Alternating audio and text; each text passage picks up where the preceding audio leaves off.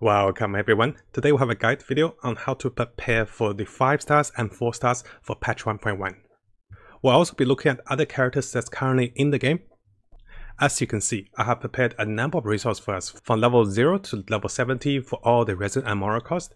And after that we'll look at artifacts and also we have a very detailed Genshin Impact material tracker, which allows us to see what is needed for different level progression. For example, in this detailed Excel, if I'm going for the look and ascension level level 5, this Excel will tell me what is needed.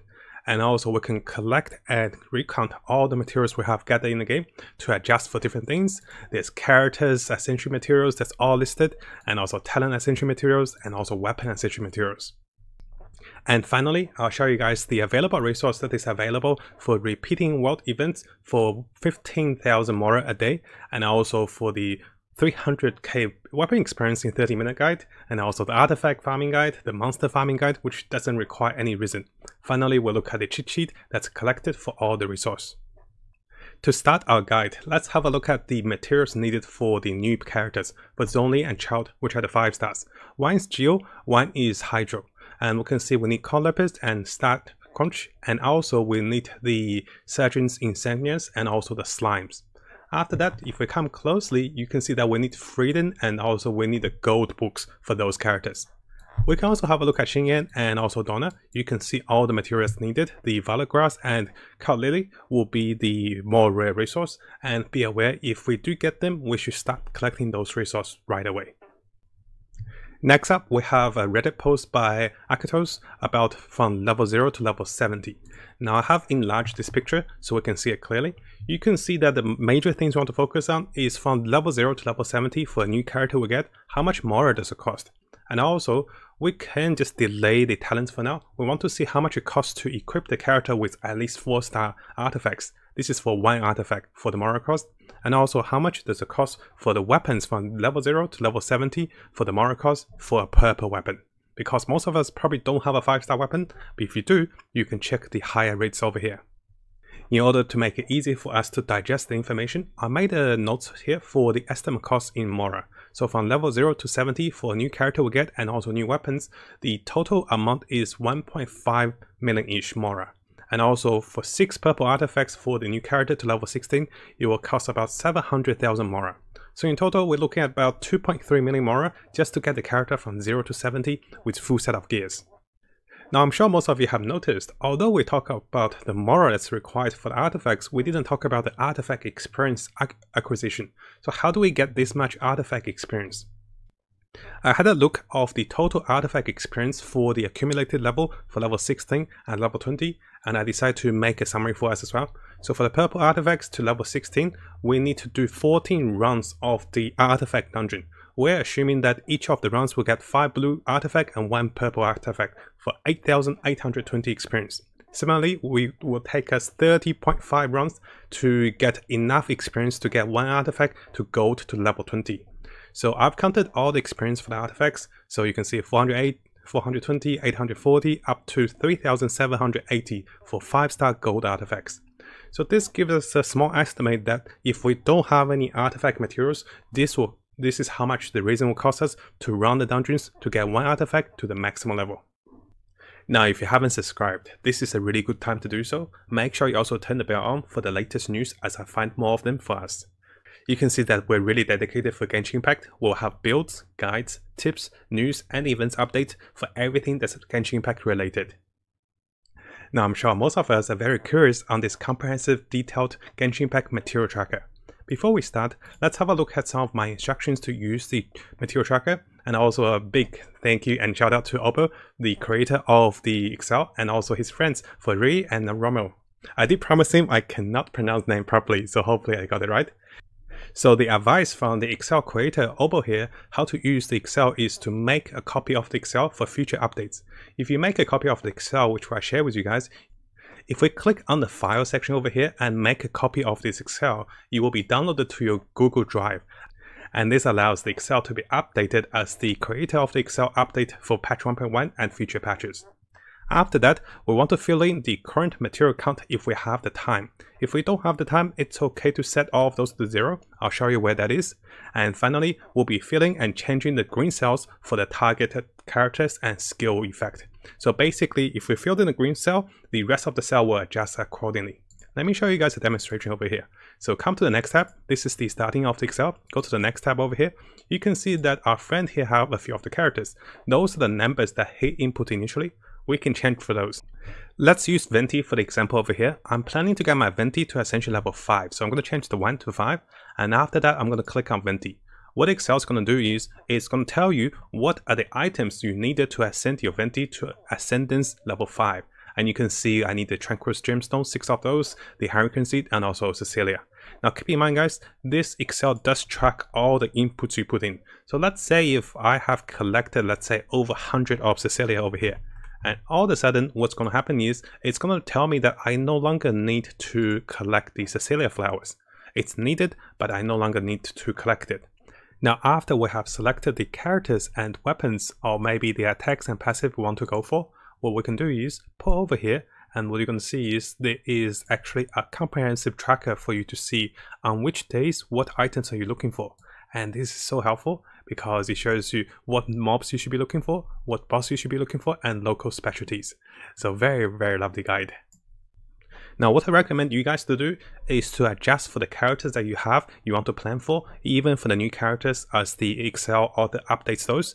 And if we want a more detailed summary of the Venti character we're going for Ascension level, come over here from the materials and you can see that if you look for items like the Cecilia flower, what's going to happen is after inputting I have 100, if I click the plus sign, so our Excel creator here, Obo, really did an amazing job with tracking everything. Now it does take a little while to input everything. I haven't done so for my current account, but I think it's definitely worthwhile because it allows you to track multiple characters at once. Let's say if I have Venti, we also have someone who is going to also use the Anemo characters elements, let's say Jean. Both of them are going to need the Tranquils, and if you come to the material details, it will actually tell you both of those characters are going to need those, so you actually will be farming double the amount. Now, what if inputting numbers and materials are not the thing for you? What I do recommend is come to the next few tabs. You can see the weapon tab. It will tell you what is needed for your particular weapon. Press Ctrl F to find. Let's say if your weapon is a bow and it will show you Amos' bow and you can see what is needed for that particular weapon to be ascendant further. What are the materials needed? So you don't have to input anything. You can just come over here and see what is needed for your weapon and you can prepare for those. Similarly, our friend also made for the characters what is needed for the characters to be ascended. For Amber's example, we can see the different Everflame seed, the small lamp grass, and also fired arrows. So it's very, very comprehensive and it's so much detail, and this can best prepare us for the current patch 1.0 and for the future patch as our friend update the Excel. So currently it's fully updated for patch 1.0. And finally, you can see there is a talent tab Basically, if you're going for Amber's attack passive, if you're going for Amber's skills, you can see that our friend Obo actually highlighted everything for the books, for the required items, and also Mora. It's very comprehensive, and you can see the burst spells, barbar spells, so he went so much detail. Look how how detailed it is. He went for all the characters and I had a chat with him yesterday to talk about how much work he put into Genshin Impact. He was really happy that I'm making free-to-play and low-spending content, and he loves to play games in that respects as well. It's more enjoyment for the game, and for him personally, he always tracks the gacha games he plays, and he's so talented and so experienced on this. It's so amazing. So I'm really excited to show you guys this, and make sure guys, if you haven't checked it out, definitely try it out. So it's very, very good. You can see the characters, you can see the weapons you want, and there's so many things you can adjust, and even you can track your talents, you can track your skills. There's so much you can track as well. Make sure you do adjust for your own characters. Some of those characters are his, some of those are added, so for examples over here. Now that I showed you guys the materials that's needed for the new patch heroes for the 4 heroes for patch 1.1 and also the current patch 1.0 heroes. So also I showed you guys know the ascension that's needed from 0 to 70 and also the information we have over here. It's important that we know how to find and farm, prepare for the materials. So Resin is a big problem. I'm sure most of us know what to do with Resin. I can make a guide on those if you guys want, but I want to give you guys all the resource and information that doesn't require any resin. So we'll be looking at four different ways to get more out of the game without spending any resin. So coming over to my guide videos over here, the first video shows how to log on and log off at the warp point to repeat the world quest to get companionship experience, also to get the Mora reward and also 20,000 weapon experience in terms of enhancement more. So check out this video first, I'll be having all of those videos in the description for you. After that, if you are short on weapon experience and you want to see what are the patch 1.1 weapons, the latest post on the guide shows you how to get weapon experience with a comprehensive location and a replay as well. Similarly, we also talk about how to get artifact daily experience without resin cost. So you can be looting artifacts on the respawns. They respawn pretty much every day, but I did, did, get a confirmation from a viewer and I did try it. Some of those are not responding daily. The What I found was most artifacts supposed to respawn daily, there's a few that doesn't. So if they don't respawn daily, just be aware of the roots. just take it out, out of the root. So I think one or two of the artifact roots out of the 16 of you didn't respawn daily, so be aware of that. Next up, I'll also show you guys how to be farming monsters. This is very important because we can farm monsters for about 300 loots for the ascension materials in about 30 minutes, and you can do this every day. And on top of that guys, the previous video I showed you guys, we can get 3500 character experience for each character in the party, which add up to about, you know, 14,000 experience. Three blue experience books as we farm for about 30 minutes is really good. And you know, as you see the previous videos, we talk about how and why is it so important to not cap level your characters. Stay on 69, stay on 79, stay on 59, don't level cap your characters. And finally, if you guys haven't seen this one, this is a good summary of a lot of useful information that is collected onto one cheat sheet. I made a video to talk about how to use it and go into each part of the sheet in detail. So if you want to check it out, do come to this video as well for the collected resource that's available.